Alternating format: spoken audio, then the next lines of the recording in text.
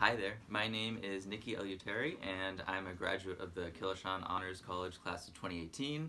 I'm excited to talk about what Kilachand means to me because Kilachand really does mean a lot to me. I had a lot of great experiences and great opportunities through Kilachand that I'd love to share. So I started college in the fall of 2014. I grew up in Braintree, Massachusetts, which is south of Boston, so I was kind of familiar with the area of Boston and different um, adventures and experiences that you could have in city. However, I was really, really lucky to be placed on the uh, third floor of uh, the Kilachand, or 91 Bay State Road, and I met a lot of great people, a lot of good friends, and I was introduced to Kilachand staff, and I had a lot of fun just going into the Kilachand office, meeting new friends, talking with the staff, and also I was involved in Kilachand and City, which is an environmental outreach program where I went and did different volunteer opportunities around Boston. I was also a Kilachand peer mentor, a Kilachand ambassador, and I was on the planning committee for my senior year Keystone project. So I really